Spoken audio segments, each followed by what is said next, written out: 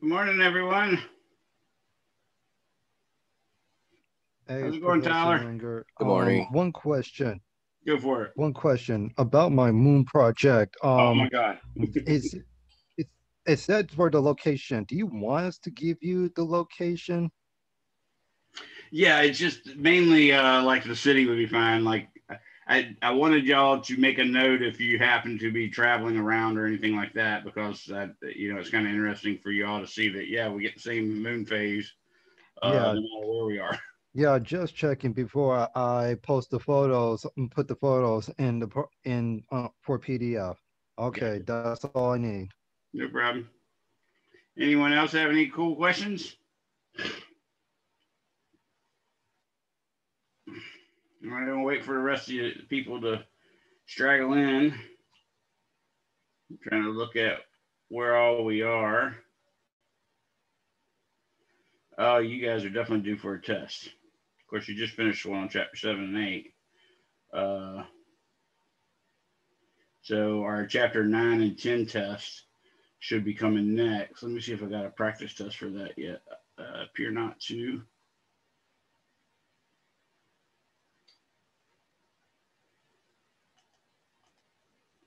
Let me, let me, let me- I'll be making a practice uh, test for test five, which covers chapters nine and 10. I'll be making that probably today or tomorrow and post it tonight or tomorrow night. And I'll send you an email when it actually happens. I do not appear to have one. Oh, yeah, I do have one. That'll work. Yeah, that works fine. Okay, so I do have one. So I'll go ahead and put that practice test up now. That will be nice. Anybody have any other questions while we're waiting for more people to come in?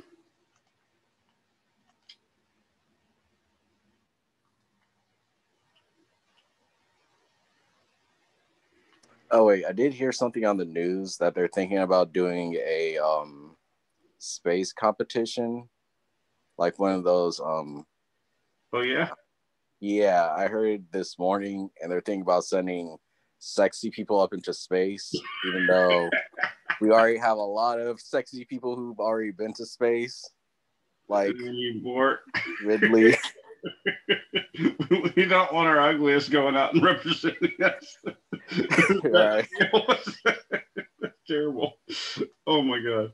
Uh, yeah, it's probably one of those things where basically some company has managed to uh, secure a trip on a Soyuz rocket or something like that, and uh, the winner they'll do some kind of game or something, and the winner will get a a, a trip. That'd be kind of cool. But I, I do like the idea that we might actually be able to start, you know, seeing regular space travel, even though it's for just the most elite, wealthiest, or you know, sexiest or, or award winningest or whatever.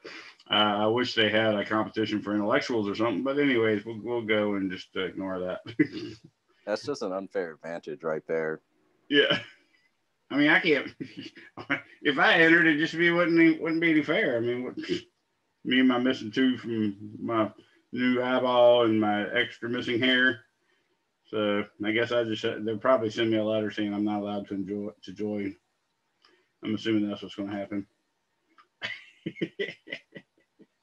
All right. Yes, I did confirm. It looks like not only do we have a quiz, it actually works. So uh, we're golden on that. So the practice uh, test for test five is now up and visible on Blackboard, excuse me, Canvas, and it's in the practice test area, of course. So what I'm going to shoot for is uh, probably a test a week from today. Uh, that'll open up a week from today, and you guys will have until the following Tuesday to get it done. So you might want to get cracking on that. Uh, we're actually quite a bit of a ways ahead of that. I'm probably going to go ahead and open up uh, practice test six too, which would include 11 and 12, because today we're going to cover chapter 12. So let's go ahead and get started. If no one has any other questions, I'm going to share my screen, and then I'm going to get aggravated that the enable uh, editing is not gone because I got it to do that earlier and it's still there and makes me angry. It wouldn't like me when I'm angry. That's a reference to the Incredible Hulk series. Bill Bixby or David Banner or whatever his name was. All right, so this chapter is chapter 12. It's on dwarf planets and small solar system bodies. And I will start off doing the impression doing an impression of a good teacher by reading you the learning goals from chapter 12. And they are learning goal one, list the categories of small bodies and identify their locations in the solar system. Whew. Learning goal two, not yawn while teaching. Nope. Learning goal two, describe the defining characteristics of dwarf planets in the solar system. Learning goal three, describe the origin of the types of asteroids, comets, and meteorites. Learning goal four, explain how asteroids, comets, and meteorites, uh, or providing important clues about the history and formation of the solar system. And learning goal five, describe what has been learned from observations of recent impacts in the solar system. Okay.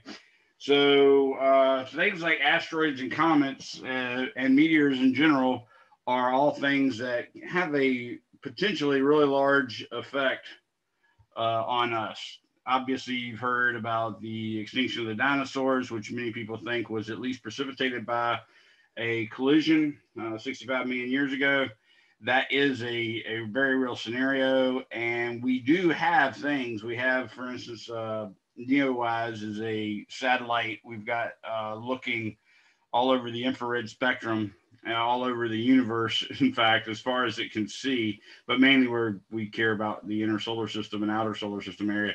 But its job is to constantly look for objects that could ultimately run into the Earth, what we call near Earth objects and stuff like that and it's found on the orders of, of, tens of thousands of them. So we do watch out for that.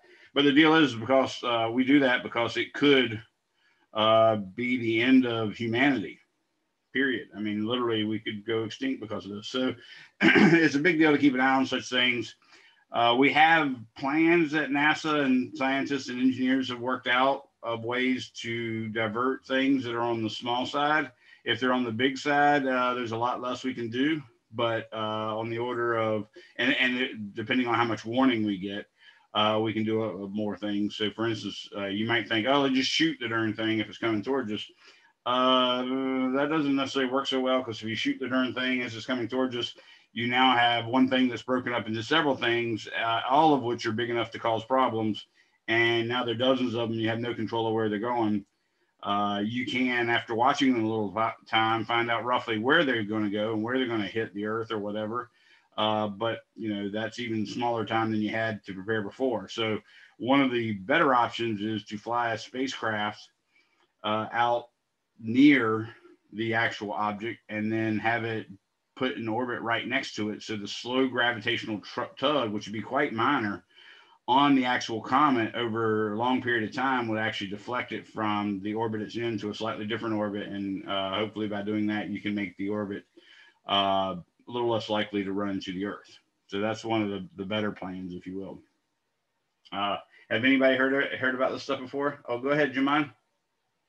Um, I know a movie that had used that concept of shooting a um, um, an asteroid, and when it did, explode. All the pieces did fall down to earth, and it did cause some animals to mutate.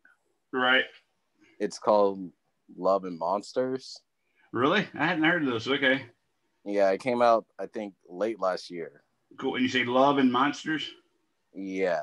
I'm gonna cool. look it up. Now that is a, a, sort of a scenario. Obviously, uh, evolution takes a lot longer time than than that would be suggestive of. But if it's spread out long enough, in principle, yeah, if you actually take something, hit the surface of the Earth, uh, it's going to cause more or less a a cloudy year, a cloudy month, a cloudy three months, a cloudy season, or like I said, maybe even beyond a cloudy year, and that's enough time for short-lived species, say things that only live on the order of weeks, uh, to actually have many generations pass by, and therefore uh, uh, they could get an evolutionary advantage by some mutations.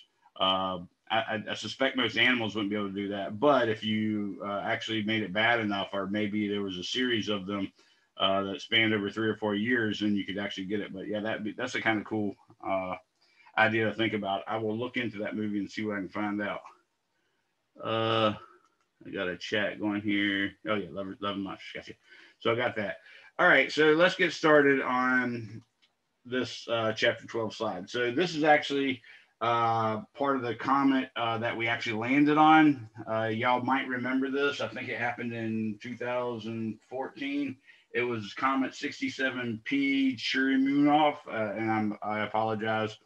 Uh, my attempts at pronouncing transliteration of what I suspect might have been uh, Russian words is not very good.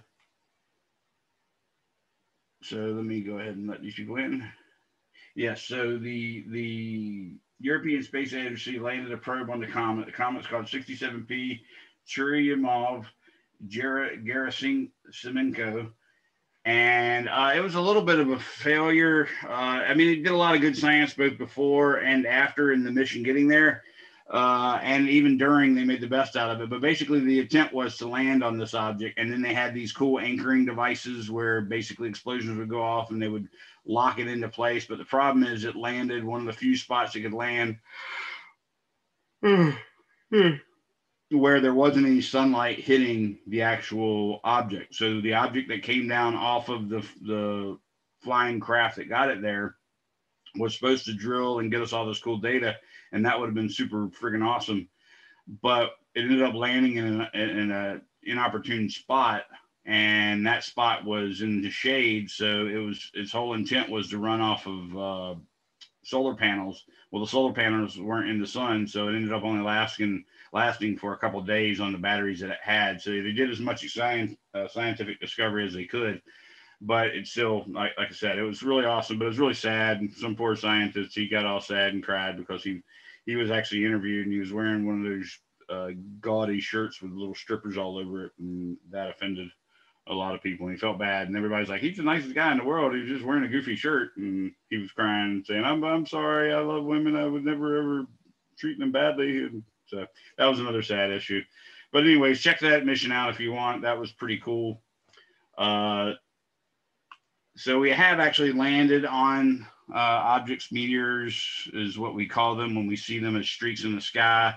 Meteorites is what we call them uh, when they're actually have hit the surface of the earth in some way or form, or some, some way or another. And meteoroids are what they are when they're in space. The meteor is just a uh, basically a streak of light in the sky, and the meteoroid is the thing that caused it. And the thing that caused it could have been an asteroid, could have been a comet, could have been smaller bodies that we don't really call asteroids or comets. And they could be made of ice, they could be made of rock, they could be made of mixtures of ice and rock and metal and all sorts of good stuff. So that's some of the questions we're going to answer today. What are some small or what are small solar system bodies? What kinds of small bodies are there? Where are the small solar system bodies located? Uh, you've probably heard of the asteroid belt, of course, uh, and I've mentioned a couple times the Kuiper belt. Uh, there's also an Oort cloud that has them, and then there's just places that random where you'll find spots of them. So, uh, what are dwarf planets? Where do meteorites, asteroids, and comets come from? How do we learn about the formation of the solar system? And then finally, what do recent impacts teach us? So here's sort of the categories. We have uh, dwarf planets. So in 2005, I want to say, this guy, let me stop share for a second. And let me share another screen, which I think will be this one right here. And this guy right here, Michael E. Brown, he actually appears in an episode of the Universe season uh, series, season one but he's actually a astronomer from Caltech, and he was born just five years and two days before me, evidently. Little turbo, actually, two days shy of five years before me. But anyways, he just discovered a planet, and of course, he you know discovered it by looking at his telescope view through his computer, sitting in his office at Caltech, and he immediately called his wife and said, "Hey, I just discovered a planet." and he was going to name it Xena, as in Xena the Warrior Princess, which would have been really cool. But anyways, uh, he found it, and it was actually in the asteroid belt. Okay, so he immediately turned it over to the International Astronomical Union, said, "Hey, I think I found the planet," and it turned out to be quite a bit bigger than Pluto. So it became a problem. Are we going to make this and Pluto a planet, or are we going to demote both of them? And that's when the whole fiasco about the demotion of Pluto came into being. Uh, so in some sense, he is responsible for killing Pluto, and that's what many people do. And he he's, he lives he loves that. He says he says yeah, Pluto had it coming, you know.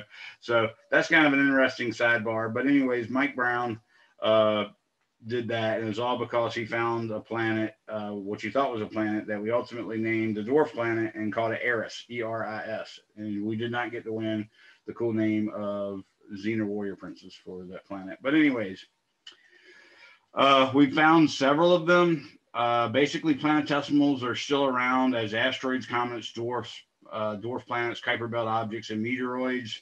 The Kuiper belt is a disc-shaped population of comet nuclei, and it goes about 30 astronomical units to 50 astronomical units. So it's pretty, you know, it's on the order of a, a light year at the outer edge. So that's that's pretty significant in terms of distance.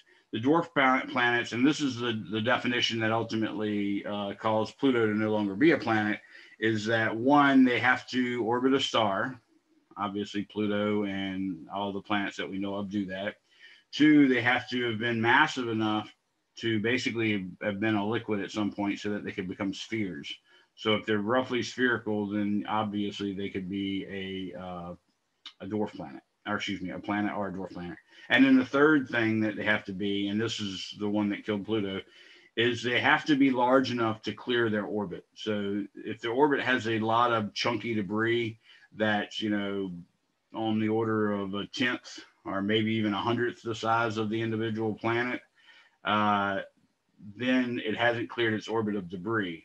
And therefore, it's not a planet. And people are uh, objects obeying the first two, but not the third, were called dwarf planets and later, just to shut the public up because they were really upset about it, they uh, gave it the honorary name Plutoids. So they're also called Plutoids or dwarf planets. So that's what they are. Here's some of them. You got Namaka, uh, which is a moon of a dwarf planet Haumea, and Hayayaka, uh, which I'm doing a really bad job pronouncing. So I'm trying to pretend like I know how to pronounce it. So Hayayaka is also a moon of Haumea.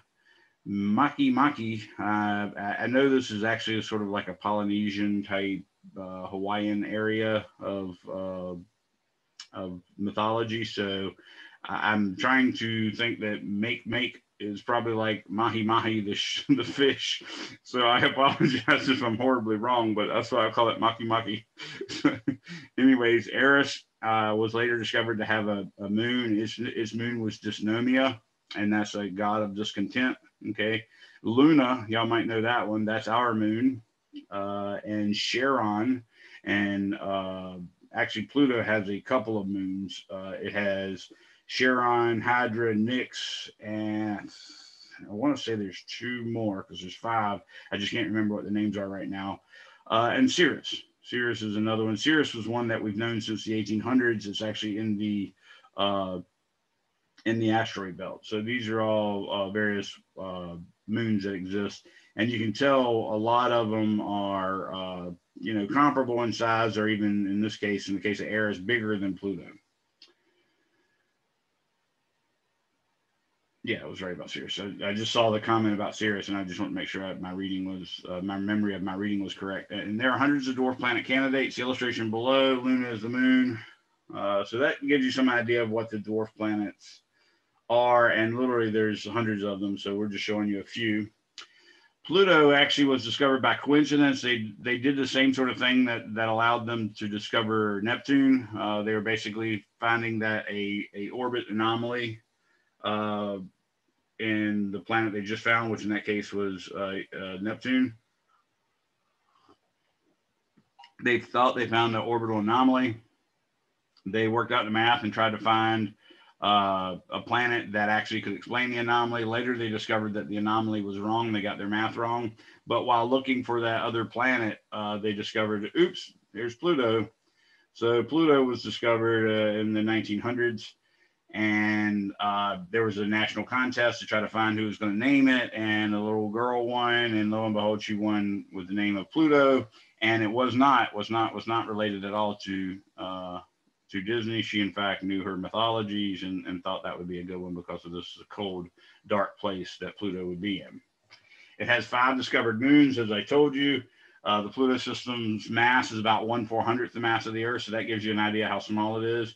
It has an eccentric orbit, and these are all reasons, by the way, that we ultimately uh, saw that it didn't fit in when we were doing the creation of the solar system. Uh, it has an eccentric orbit. It's tilted by a lot. It's mostly ice and gunk as opposed to rock and mineral and metal. Uh, it's geologically active activity discovered by New Horizons in 2015. Its icy surface of water, carbon dioxide, methane, and carbon monoxide. It actually has mountains made of ice, and it was kind of cool. Like one of the mission uh, people uh, that were running the mission uh, to the New Horizon missions to Pluto actually published a paper about what he thought the landscape of Pluto would be. And within like 24 hour period, he was able to get observations back to conclude that his paper was right. So that's kind of cool. Uh, it has flowing nitrogen ice on the surface. So basically, you know, liquid nitrogen, that's, that's like a cool thing there because that's the temperature that it's dealing with. And of course, it's right on the cusp of where it becomes a solid. So you've got flowing water, uh, liquid nitrogen along with chunks of nitrogen around. Uh, it has a thin atmosphere of nitrogen, methane, and carbon dioxide. Uh, there's cool parts of it. I definitely recommend you go to New Horizons website and look at all the photos. But it's just so cool to think that you know I, was just teaching astronomy uh, maybe 10 years ago, and the only images we had of Pluto was like a little circular box of, of squares, basically square pixels that had a goldish hue to it. And that was literally the only picture we had of Pluto. And uh, I couldn't imagine having anything like we got now. But yeah, sure enough, uh, we shot a mission to Pluto, uh, flew so close to it that we could get really good images of it. It's really freaking awesome. So here's Ceres. Uh, this is the one that's in the asteroid belt. It actually has this really shiny thing on it that confused people for a while. Uh, we now know that it's it's nothing that big of a deal, but it is kind of interesting that we had it. It was discovered in 1801, uh, but it was recently explored by the Dawn mission. Its properties are it's the largest object in the asteroid belt. It's about one third the mass of the asteroid belt, and the mass is only about 1.3% of the moon's. So it's still way smaller than the moon, but it's uh, you know as big as one third of the entire asteroid, uh, asteroid, the entire asteroid belt. Its rotation period is about nine hours. It has a large crater with landslides on its surface. It's large, inactive, salty mud cryovolcano. So, like Pluto, it's got these mountains made of uh, frozen stuff, which is really what rock is, anyways. But this is frozen uh, things that we would call gases, you know. So, in that sense, it's kind of neat uh, things that we were used to as being in at least a liquid state on the Earth, but in some cases the gaseous state on Earth are actually in solid form there and create these volcanoes whose pressure, motivation, and stuff like that is more about temperature as opposed to uh, the inner hot surfaces of the uh, volcanoes causing magma and stuff like that. These are like magma of ice, if you will. It's lower density than the other rocky solar system bodies, and there probably is water one to two meters beneath the surface. Evidently, that's a big thing that we do now in astronomy. We just assume everything has uh, water beneath the surface. No, I'm making that up. They, they don't really do that. They uh, do studies and then they discover that this is forced upon them. So, uh, but I just wanted to point out that it is kind of weird how many things have water below the surface. Once we first discovered that one happened, uh, happened to have it, now we're finding like a lot of things have it. So it's kind of interesting. Uh, Eris's properties, this is the one that Mike Brown discovered. It's more massive than Pluto. Its albedo is about 0.96. That means it reflects a buttload of the light. 96% of the light that hits it bounces right back. Uh, so it, when a planet has a high uh, albedo, it generally is cold. So, for instance, our Earth, when it went through that ice age that you guys got to watch about in the Earth making of a planet, when it got covered with ice, it had a really high albedo, and that albedo made it stay even colder for a longer period of time because none of the, the radiation was trapped on the surface to warm it up. Instead, it was all almost all reflected backwards. It has a pristine surface of methane ice. It's too cold for an atmosphere. Uh, it has one moon that we know of, Dysnomia, and the inclination of the orbit is greater than Pluto's. I should have mentioned, by the way, Pluto is like Uranus in that its uh, orbital axis is essentially in the plane of the, uh, or excuse me, I should say its its rotational axis is essentially in the plane of the orbital Uh, so that means it's sort of like Uranus, it, it rotates like this as opposed to like this as it orbits around. So its rotation is this.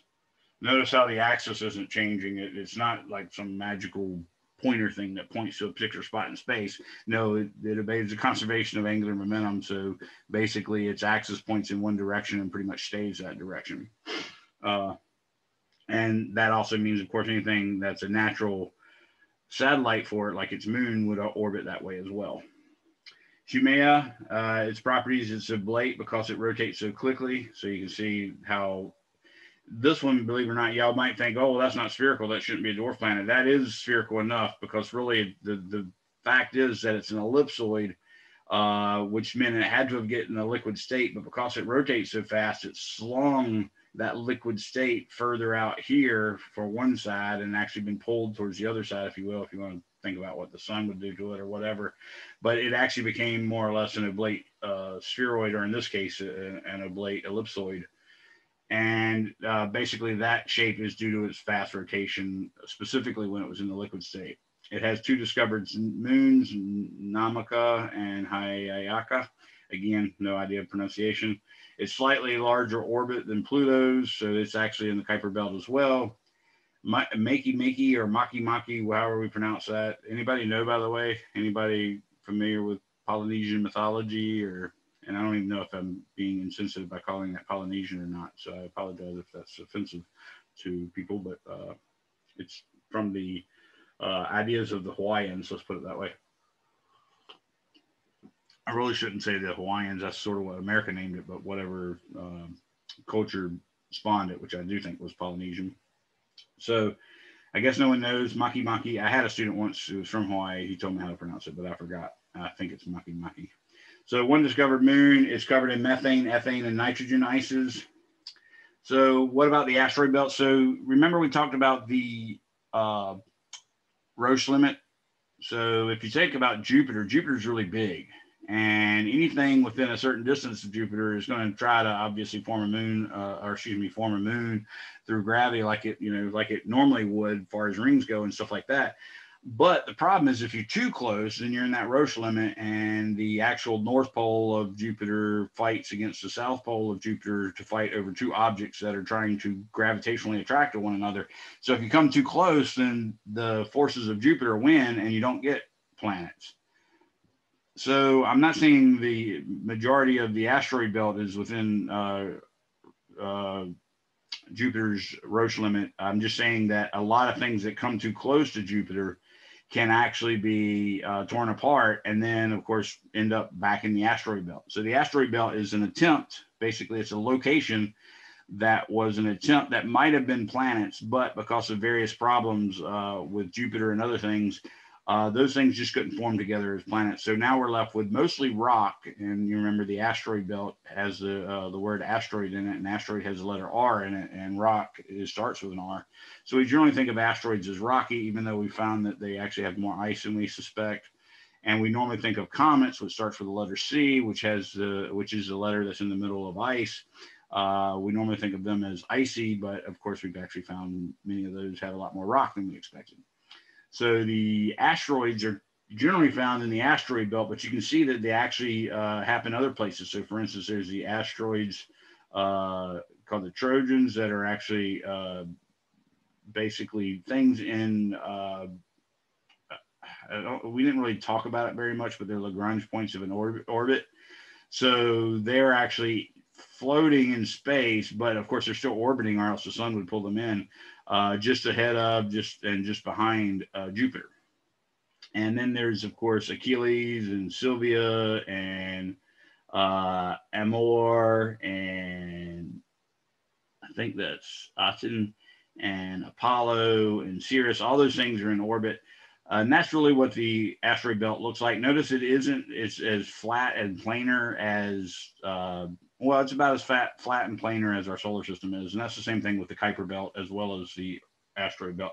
They're a little thicker than just you know two-dimensional objects. There are several gaps in the asteroid belt, and that's where there's uh, orbital resonances with Jupiter. So, in for instance, in the location where Jupiter orbits once for every three orbits of the asteroid belt, there's this huge gap right here that basically means, uh, hey, every third time around, an object at this particular location gets an extra boost pulled outward from Jupiter, pulling it this way. And over hundreds and thousands, and actually, in fact, uh, around 4.6 billion years, that's enough time to suck everything out of that. Same thing with the 5 2. So uh, this thing completes five orbits every time Jupiter does two. So uh, basically, this gets tugged out. This is a 7 3. This is a 2 1. So those actually cause sort of holidays, if you will, in the asteroid belt and you don't find much stuff there. Uh, they were called the Kirkwood Gaps by a man by the name of Kirkwood who discovered them, I think, in the 1800s. Uh, the asteroid belt contains binary asteroids, so there's asteroids that orbit one another. There's asteroids that have sort of moons and stuff like that as well. We'll show you Ida and Dactyl in a second. So here's the Kirkwood gaps that I was talking about, and you can see how uh, the obviously the semi-major axis runs from about two to 3.5 for the asteroid belt. And that makes sense because Mars is 1.52 and Jupiter's right about five. So that gives you an idea roughly uh, how big the asteroid belt is. You can see the vast majority of the asteroids are, of course, between let's say 2.1 and or maybe even yeah 2.1 to 2.5 and then there's another big clump from 2.5 to 2.8 and then there's another uh, slightly smaller clump from 2.8 to 3 so on and so forth. Asteroids are divided by orbital characteristics. The trojan asteroids share jupiter's orbit and they're held in place by jupiter's gravitational field i want you to remember that that phrase held in place is not saying that they're just sitting there okay they're moving along. So they're always sort of the same distance ahead of Jupiter and the same distance behind Jupiter because they're moving in the same orbit and therefore have to have the same speed or else they'd be sucked in. So uh, that's what we mean by they're uh, hanging around, if you will, or uh, held in place, if you will. So near Earth objects are asteroids whose orbits bring them within 1.3 astronomical units of the sun. Uh, obviously, you know, there can be objects that orbit from way out here and then come in, say, like this, that's a near Earth object. It, it, spends the vast majority of its time way, way out here, but it still came within 1.3 uh, astronomical units of the sun. And of course, one astronomical units would be out here where there's Mercury, uh, there's Venus right here on this orbit. So one would be right here, 1.3 maybe right might be right about here or even right about here. So anything that does that is a near Earth object. That that's the one that I was telling you about NEOWISE is looking for. Uh, so it's keeping an eye out for things like that. There are there are Amor asteroids which cross the orbit of Mars but not Earth. There are Apollo asteroids that cross the orbit of Earth and Mars, and then there's Aten asteroids that cross the orbit of Earth but not Mars. So Aten from ancient Egypt, of course. Uh, it orbits uh, through Earth, but not Mars. Apollo does both of them. That's the Greek god. And then Amor, which means love. And I think that's uh, both in uh, Greek and Roman uh, god. That one crosses the orbit of Mars, but not Earth.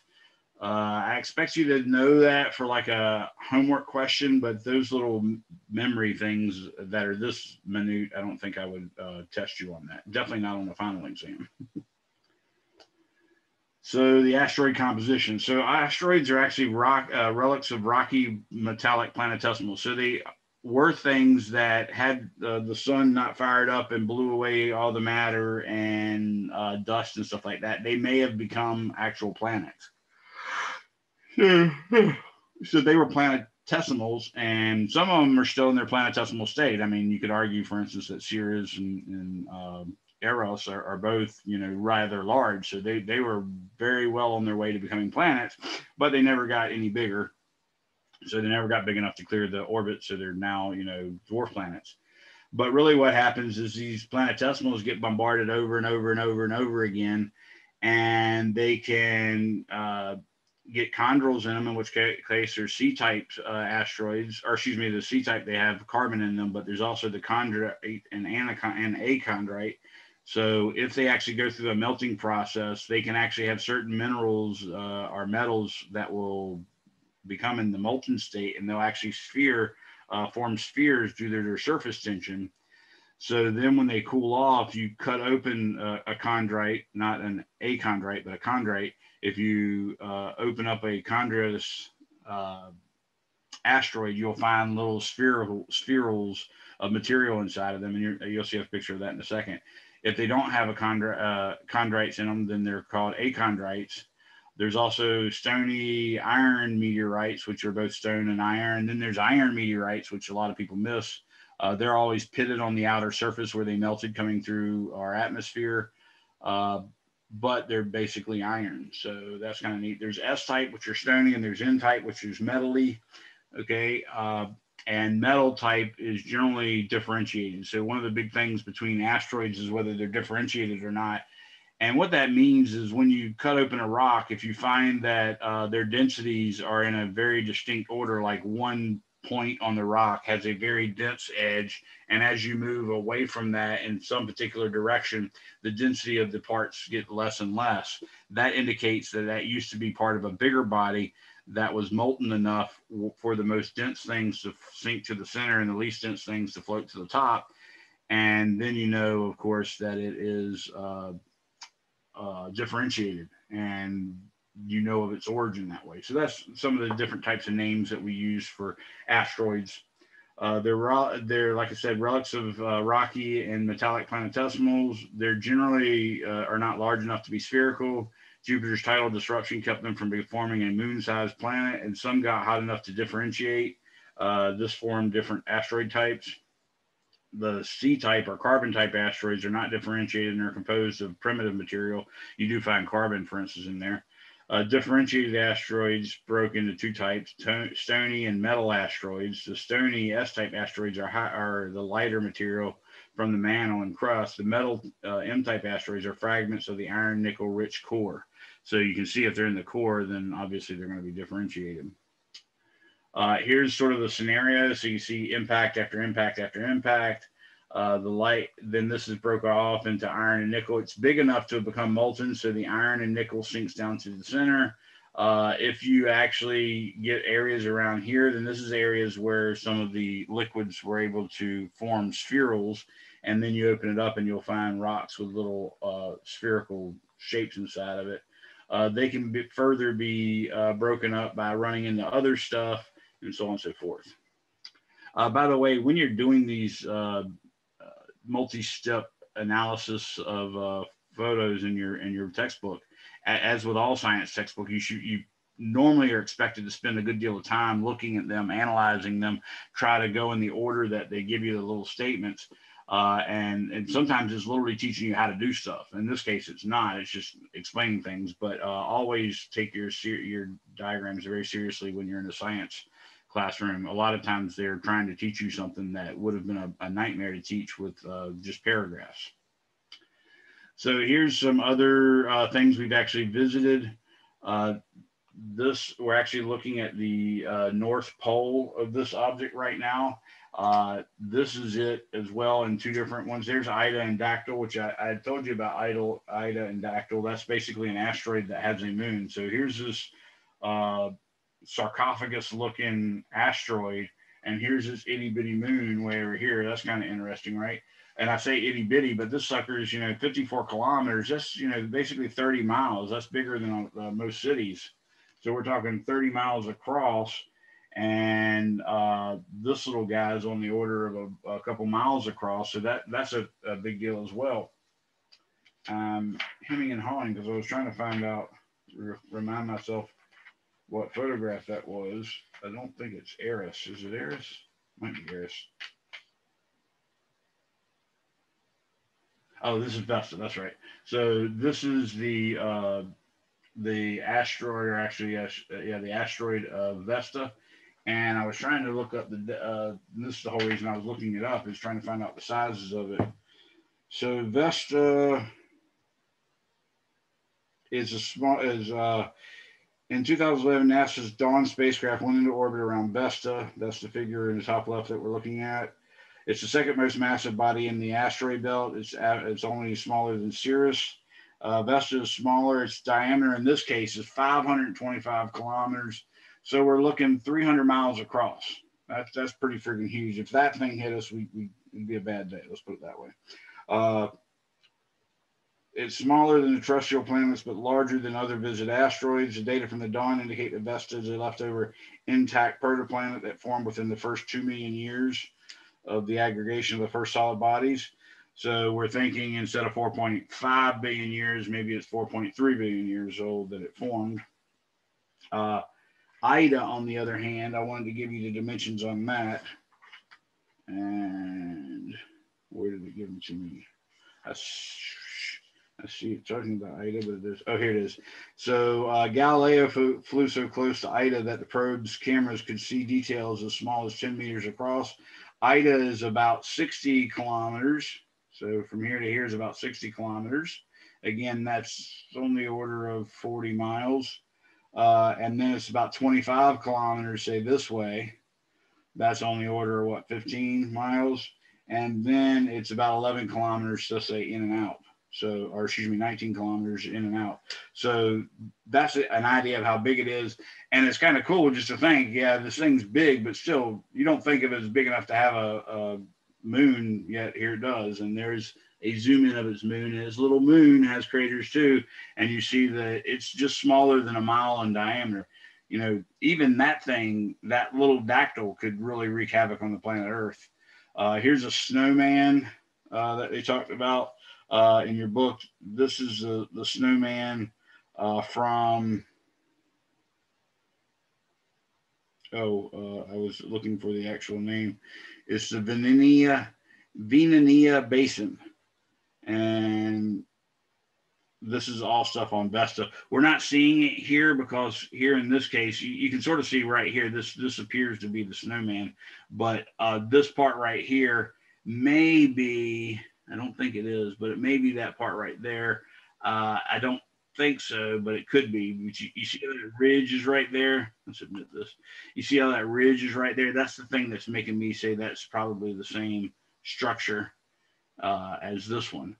Uh, what makes me less confident is I sort of see a ridge here, but maybe not. But either ways, these are basins that were uh, created by impacts. Uh, they estimate this uh, basin to be about 1 billion years old. And the Veneneia uh, basin uh, is estimated to be about 2 billion years old. So, anyways, that's some of the cool stuff you can see on asteroids. Obviously, they, they have pock marks on them just like uh, planets would, especially the bigger ones. The smaller ones don't necessarily, I mean, they'll still have pits on it, but they won't have huge pits because basically, once you get a certain fraction of the size of the object, so if you hit this with something maybe a third or half the size, it's just going to break in pieces. Uh, so that's why you don't generally see uh, huge fractions. This one obviously is a big deal because obviously that thing is uh, on the order of a third or more uh, the crater size. So the crater is about a third or more the the the object size. So that means it's, it's been hit by something really really big, and the fact that it stayed together is pretty remarkable. The comets, like I said, are icy planetesimals formed from the primordial material. They would have been further out because remember, in order for the icy materials to take part in planet making, they have to be uh, condensed, at least in the liquid state, preferably in the uh, solid state, but at least in the liquid state because the gaseous state is too energetic to generally let gravity pull it together. Uh, they're small, icy bodies uh, when far from the sun. When they uh, come into the inner area, they can actually become liquid and they can even sublimate and give off gases, stuff of that sort. The comets are located in the Kuiper belt and or the Oort cloud. The Oort cloud also has asteroids because the Oort cloud is just uh, suggested by Jan Oort specifically because we know that uh, objects come near Earth uh, orbits all the time. That would mean objects probably coming near Jupiter orbits all the time and near Saturn orbits all the time. So every time something fairly small comes near the big planets Mercury, Venus, Earth, Mars, Jupiter, but especially Jupiter, Saturn, Uranus, and Neptune, then uh, they're going to have an interaction with that planet gravitationally, and that, that planet is going to slingshot it out in random directions. So over time, Jan Oort suspected there would be a, a sphere centered on our sun where things are orbiting in these crazy orbits where their semi-major axis is really, really super long, but their semi-minor axis or their minor axis and major axis are really vastly different. So there'll be elliptical orbits. Uh, the outer part would be really, really far away. The inner part might actually come within our inner solar system or even uh, even closer than Earth. Uh, but that's what the Oort cloud is. So because it was made that way, you're just as likely to have asteroids as you are comets out there. Here's some short period comets. And remember, as far as your book goes, short period means less than 200 years. Things that are 200 years or longer are called long period comets. So uh, you see in here uh, Halley, which we do not think of normally as a short period comet because it takes like 76 years or whatever, is a short period comet because it's less than 200. But it comes from really far out and then orbits, comes around uh, the inner planets, if you will, and then goes back out. Uh, here's Jupiter way out here. Here's Mars, Earth, uh, Venus, and Mercury. So you can see Halley actually comes in in between the orbit of Venus and, and Mercury there. There's Encke, uh, and then there's a couple other objects that are orbiting this way and that. So all these different things are different uh, short period comets. And notice they're not inclined, not necessarily inclined to stay in the plane. You can see they're actually, if you're looking at the edge on of this diagram, uh, you're seeing this is the orbital plane of the Earth and the solar system, roughly. Remember, it's within a couple degrees. Uh, but these comets are actually in quite uh, elevated orbits. So Halley, for instance, is the most elevated, actually, other than this green guy who they didn't name. But anyways, that's uh, that's some of the short period comets. There are currently around 400 known. Uh, they originate in the Kuiper Belt. And then the long period comets are uh, greater than 200 years to perhaps 1 million years.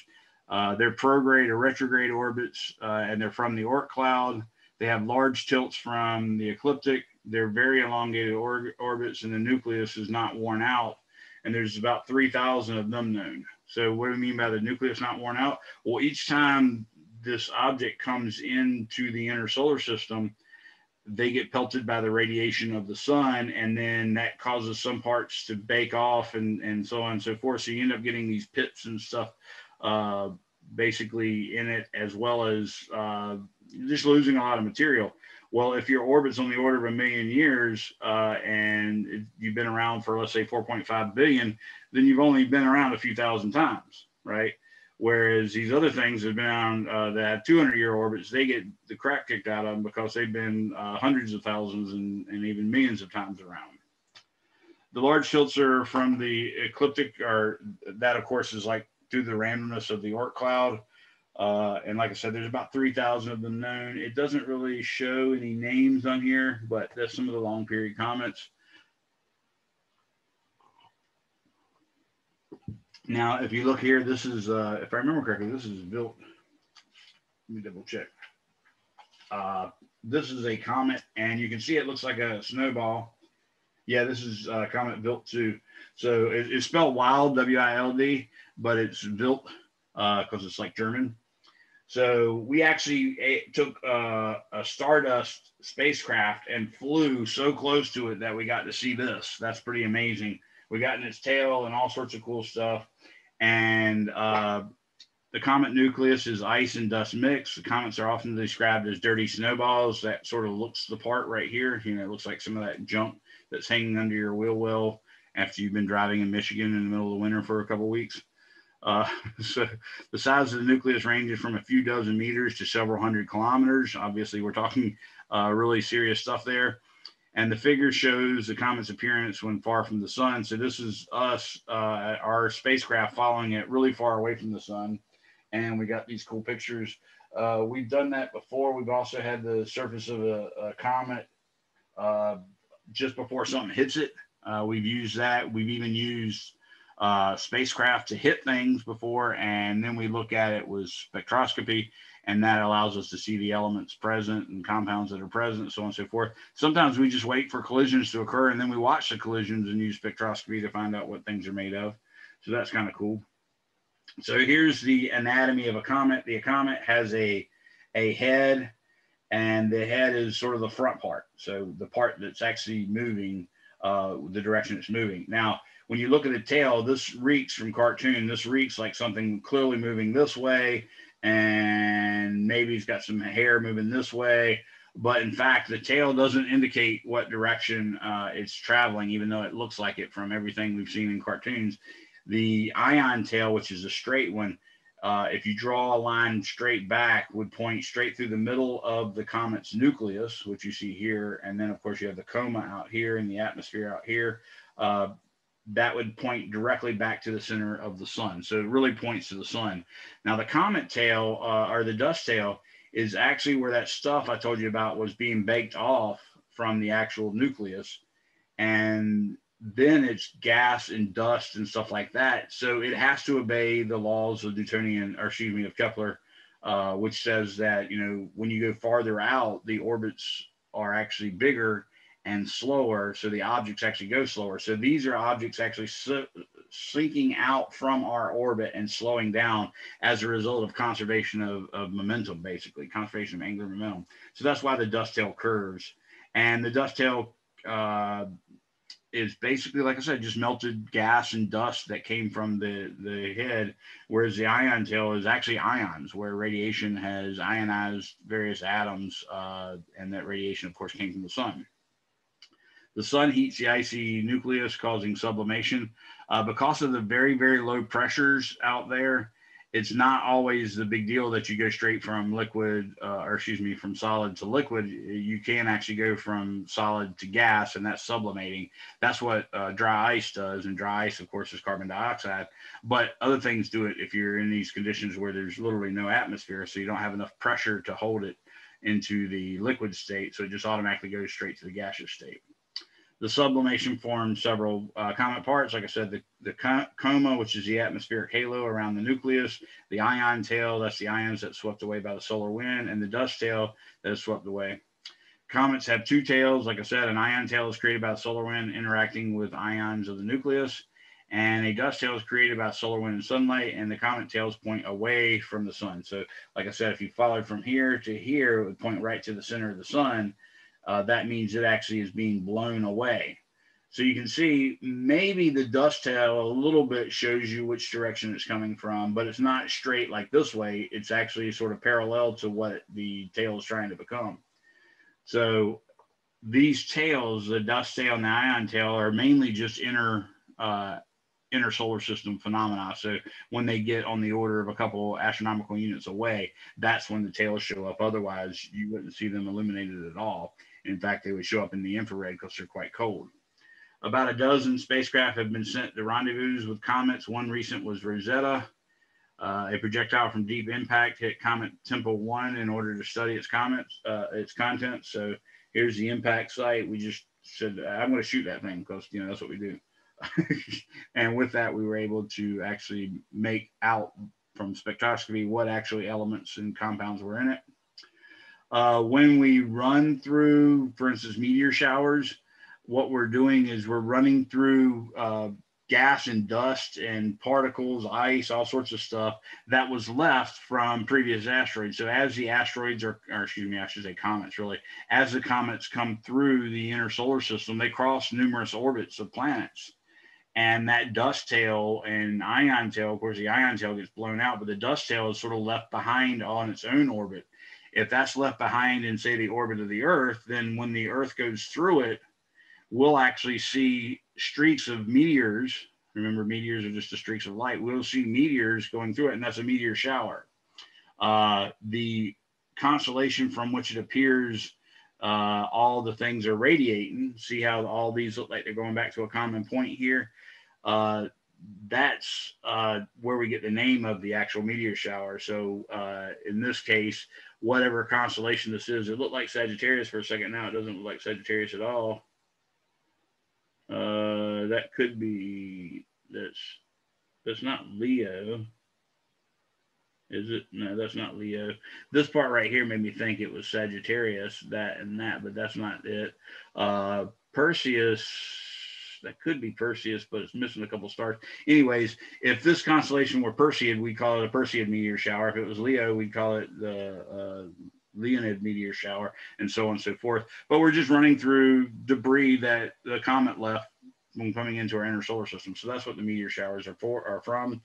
Meteors from comets are less than a centimeter across and have a density of cigarette ash. That's sort of what they're what they're like is they're the flakiness of c- cigarette ash and the ones that uh, make the huge fireballs that go across the sky that you see blues and reds and stuff baking off not not like the one in in, in russia recently by the way uh, but the smaller ones that you see every now and then i've saw i've seen maybe three in my life uh, those are normally no bigger than say a marble or a really big piece of cigarette ash. I'm, I'm reminded of uh, christmas vacation and basically the wife's mother uh, at the at the bar uh, while they're cooking breakfast with a cigarette and a long ash hanging off of it like that. Uh, that's sort of the biggest case scenario of, of those fireballs.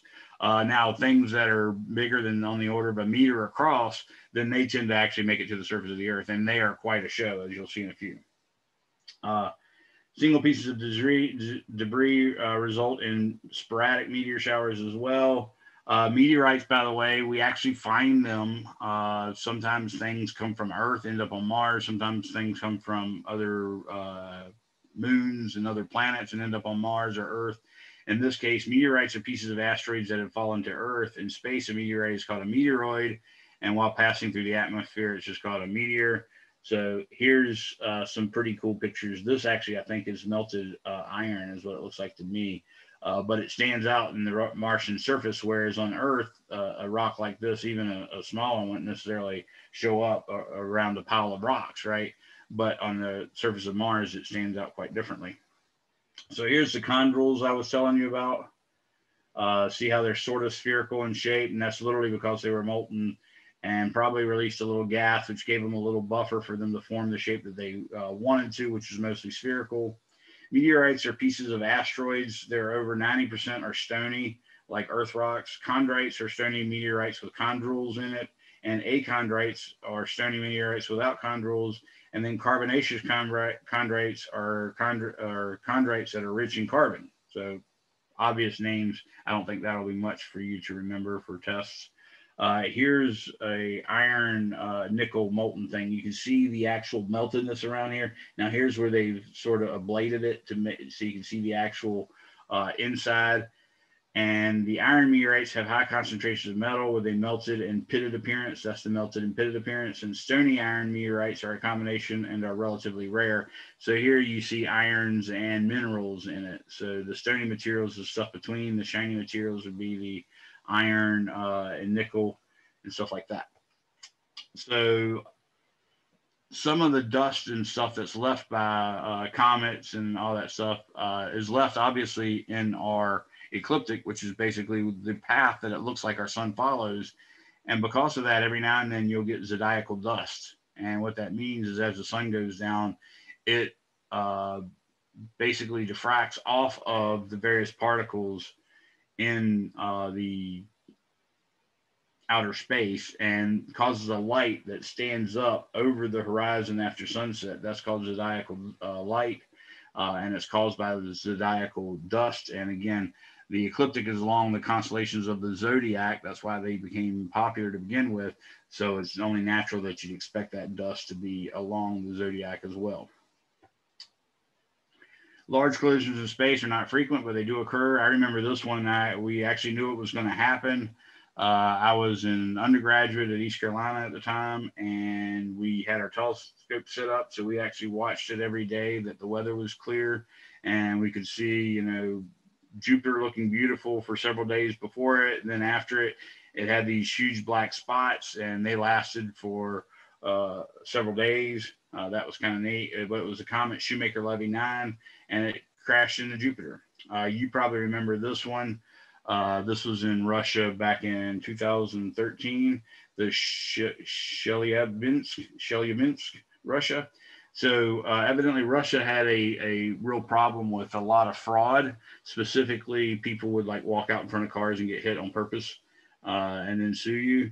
So it's very common for virtually everybody in Russia that owns a car to have a dash cam. So luckily, because of that, you know, misbehavior of citizens and poor folk or whatever, Uh, we were fortunate enough to have numerous, numerous videos of this. But what happened is in 2013, this giant rock and parts of it was, you know, it was obviously even larger when it happened, but it came through and exploded in the upper atmosphere of Earth, and in fact, shattered windows, injured people, stuff like that. Uh, this has happened uh, before. Uh, they were able to find this at the bottom of a frozen lake. Other bits and pieces were found about. They could trace back the path uh, using knowledge of astronomy. People could build the original orbit.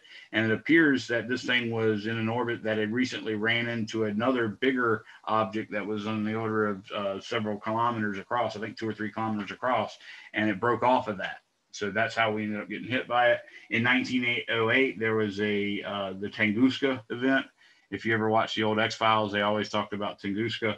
Uh, that was a weird thing. Imagine being uh, Tunguska, uh, which is uh, that Siberian area of Russia.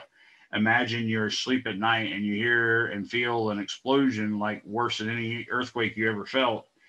And you go outside, and all of a sudden you see the whole forest is leveled and fire and dust and all sorts of crap. That's really what happened. Uh, it didn't leave an appreciable crater, uh, so we know it actually exploded above the Earth's surface. It didn't leave much in terms of debris, so we're pretty confident it was a comet. But it was huge and it, it leveled trees for hundreds of thousands of acres, if I remember correctly. So that was a really big deal. Uh, obviously, these things are potentially life threatening for everything, so we try to watch them. Uh, and that's basically it. The rest of this is math stuff. Here's the one thing that's kind of interesting. This 4.2 uh, times 10 to the 15th joules, that's the, uh, if you actually want to take out the mega, it would be 10 to the 9th. 4.2 uh, times 10 to the 9th tons of uh, explosives basically is the energy that a, a, single explosive like TNT or something like that would do. Uh, this 4.2 times 10 to the 15th is the energy of a megaton hydrogen bomb. And a megaton, remember the actual uh, Hiroshima, Nagasaki, and Fat Man and Little Boy, those bombs were on the order of kilotons, not megatons. Okay. In fact, uh, uh, megaton bomb was about 67 times stronger than the horrible bomb we dropped on Hiroshima. So when you actually calculate uh, a 10 kilometer comet nucleus, traveling at five or excuse me at 20 kilometers per second and and basically that's roughly what you find things orbiting at is around 20 kilometers per second you can actually imagine them going up to the escape velocity of the planet that they're going to hit because obviously uh, that's how much velocity it would get if it came infinitely far away and reached the earth. It would actually reach the earth's escape velocity and that would be the velocity that it travels at so when you do kinetic energy, which is one half mv squared, when you do that calculation of it, you find that it's one times 10 to the 23 joules. If you compare that to a one megaton hydrogen bomb, you'd find out that in fact it's 24 times 10 to the six. So 24 million one megaton bombs uh, is the equivalent of this 10 uh, kilometer diameter nucleus uh, comet nucleus. So that's kind of interesting. These are not the calculations. Uh, you know, I don't require these calculations, but uh, one, knowing that energy value, the 4.2 times 10 to the 15th joules per megaton, is pretty helpful in comparing how bad a, uh, or how much energy something has. And using one half mv squared is just an estimate. It's not it's not that this thing is like a nuclear weapon. You know, a nuclear weapon causes a mass explosion, it causes fire, but it also releases uh, a buttload of radioactive material because it was literally made of radioactive material. So that's a whole nother thing. And it does provide radiation. Well, this would provide radiation as well, but a lot less of the radioactive material because it's not necessarily filled with radioactive material. Its core that made it happen is not radioactive material it has probably just about as much radioactive material as, say, the Earth does.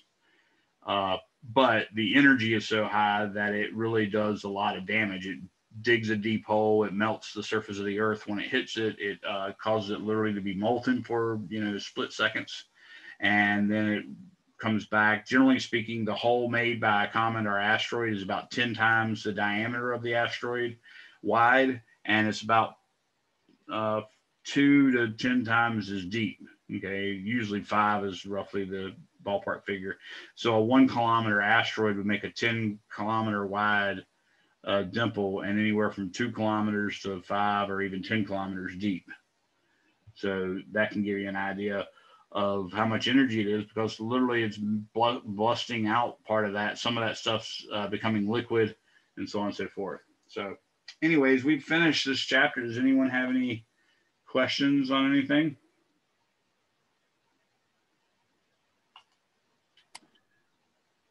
Okay, well, we have lab today, and I'm going to tell you briefly what's going on with lab.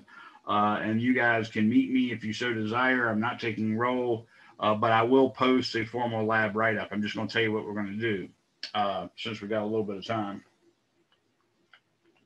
Uh, I'm going to first off go to, let's go to heavensabove.com.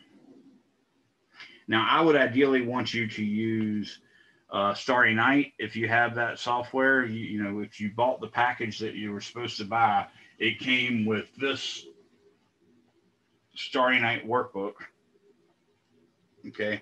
That says Starry Night workbook like this. Again, looking in the itty bitty window, that's me. Okay. Uh, that also gave you inside a place to go and a code to download Starry Night Student Edition, and uh, that's that's what I really would prefer to use. So if you have that, make sure you use it. If you don't have that, uh, you can uh, use another version that you have. Maybe you have the Sky, maybe you have Sky Safari, maybe you have uh, Redshift or one of those other software packages, Voyager Stargazer is another one. Any of those that you have would be better than Heavens Above, but Heavens Above is not bad in a pickle. So let me show you what we're going to do. I'm going to do www.heavens-above.com. I'm pretty sure that's what it is. Okay.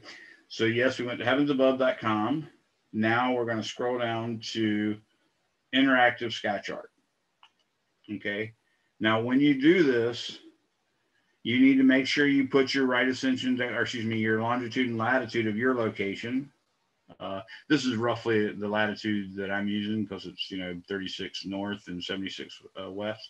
That's actually close enough for yourself. So if you want to take a screenshot, that's the longitude and latitude you can use. Uh, all you have to do to click uh, to change it is click up here and it'll give you like a map. You can click off a place on Earth, and then it'll just give you a longitude and latitude for that. You can click in an address; it'll give you a longitude and latitude. All that stuff's fair game. Of course, we've used this before, so it shouldn't be uh, that new to you guys. But either way, you've got to go here if you don't have one of the software packages. If you do have the software package, I would rather you use that, and I'd make sure you put the location as your location.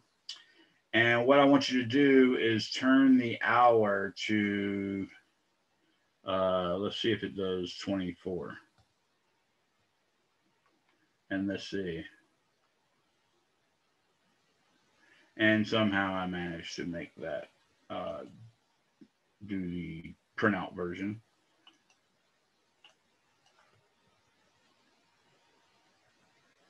So this is 12 and let's set this to zero. And let's say update. So that's clearly noon. Let's see if it does 24.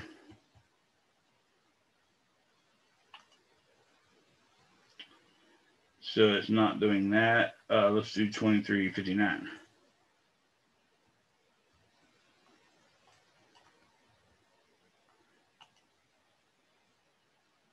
There you go. Now you see the sun's not out. So this is what I want you to do. You're probably going to have to go to 2359. That's close enough. You're looking for midnight, basically. And at midnight, uh, the constellation that is due south of you, which notice due north is right here, due uh, west is right here, due east is right here. Due south is along this vertical line going straight through south, going right through the middle of the circle. So what your job is, your job is to find at midnight not only which constellation of the zodiac is uh, due south of us, but what part of it? So specifically, I want you to do this for, let's say, the first of every month. So let's play April 1, 2359, update. Now you can start at April 1, then you're going to do uh, May 1, then you're going to do June 1, then you're going to do July 1, all the way back until you get to April 1 again.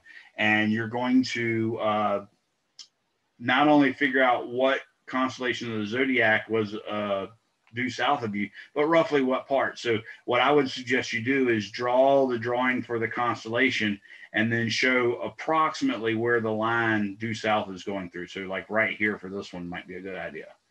And then you just put Leo, draw the drawings, and show the line, and then do again for May 1st.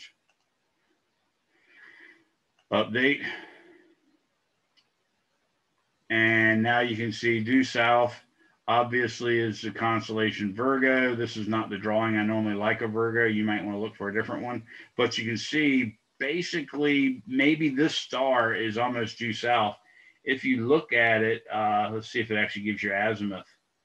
And it gives an azimuth of 180.1. So when you hover over a star, if that star says exactly 180, you know it's due north. I mean, excuse me, exactly due south of you.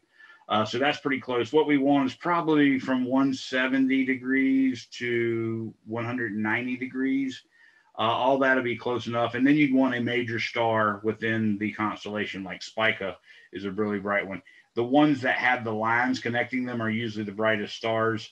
So you can again draw the actual diagram and choose whatever Virgo uh, diagram you want. But the main thing is uh, put what part of the constellation is due south of you. When you're finished with all that, you'll have basically 12 of them. And by the way, you might have to include Ophiuchus, O P H I U C H U S, because uh, Ophiuchus is actually along the ecliptic as well, uh, but it wasn't part of the original uh, 13, or excuse me, original 12 zodiacal constellations. So it's okay to use Ophiuchus if you need to. Here's Cancer. You can see Cancer is not even that prominent of a constellation to begin with. It's this triangle and it's also this triangle. Uh, but again, you're going to try to look online, find really good uh, drawings, stick figures of the zodiacal constellations, and then you're going to choose the stick figures you like, uh, and you're going to make sort of a circle. So if you take Microsoft Word and you put a big circle uh, as large in the paper as possible, then you can put the constellations in order from, let's say, the top would be May 1, and then April 1, and then so on and so forth. And what you're trying to do is make that distance around that circle, which is 360 degrees, that's going to be 365 days, right? So you, that's going to be divvied up over 12, uh, maybe 13 constellations all the way around. So you divide 360 degrees by the number of constellations you have and try to make take a, into account the fact that say uh, Virgo is way bigger than Libra and let it take a little bit more angles. But what you want to do is then put another circle inside of that circle where you put the individual dates, uh, May 1, uh, June 1, July 1, all the way around. And by knowing that the constellation is due south of you, then you can look across that circle across the sun and see that the sun is in the opposite constellation. So that's really what you're trying to do is make a figure like the figure in chapter, I think it was chapter two. Let me find out what figure it is. You're going to basically remake that figure. And that's probably the easiest way to explain it. And you're going to make it by doing your own researchification, specifically your researchification into the positions of the constellations at midnight on the first of each month. So the diagram I'm looking for, there it is. It's diagram two, figure 213 on page 34 of your textbook. That's what you're trying to make, something like that. It doesn't have to be as beautiful as that, of course. It, it could be. Uh, and maybe if it turns out really, really wonderful, I might actually give you some uh, astro points for doing above and beyond what the lab requires. So you're welcome to do that. But that really is what we're trying to make is a diagram like this. So let me stop sharing and show you the, the full picture again. So remember this picture that has. Uh, that's the, yeah, that's the diagram we did we saw earlier this year. Exactly. What I want you guys to do is be able to make that diagram. Uh, and I've given you the way to do it. I've just told you how to do it. All you got to do is go to the first of each month and do that. Uh, some people might actually choose the uh, middle of the month, and that would be fine as well. But just choose one. Choose the middle of the month or the beginning of the month, the first of the month or the 15th of the month.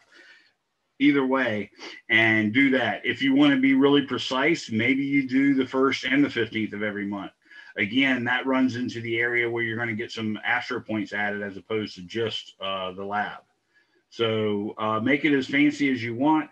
Then when you're done, you'll have a orbit of the Earth around the sun. You put the sun as the middle of the circle. You put the orbit of the Earth around it. You know that the orbit of the Earth goes from say here to here every 365 days or in one year. So you can slowly put that out and then use that diagram like we did in chapter two to predict, you know, what would be on the horizon at five, uh, at sunset on September you know first or something like that. We can do all that with that diagram. But that's what you're doing for lab. I will re-explain that at one for people that aren't here or for people that maybe have me for lab but not for lecture. Uh, but you're not required to come. If you do that's fine. If you don't that's fine too you can use it again as a chance to ask me questions but other than that just see me at 1.30 yeah we're tuesday yeah so 1.30 uh, for lab uh, but again you're not required and you're now free to go. Uh, but I'll wait for the last person to leave in case anybody has questions. Sorry it took so long to let you in, Amy. I, I didn't realize it was holding you outside. I thought it had said you were in, but you and three other people, I think. See ya. Have a very nice day. You, Matthew. Have a good one.